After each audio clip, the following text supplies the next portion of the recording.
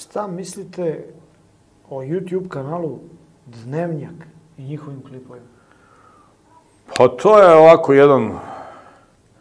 YouTube kanal gde se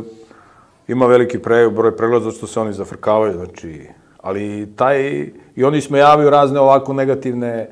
negativne pojave u društvu i tako dalje, ali nema baš neku ovaj, moralnu poruku, ali bolji nego ovi drugi kanali, ali ja, to, ja slabo gledam zato što se previše zafrkavaju i, a ni, meni to nije nešto smešno, meni to nije baš nešto smešno, ali ima veliku gledanost, tako da ja volim kanale koji imaju neku moralnu poruku. Ovde ima ovako nekih moralnih poruka, ali uglavnom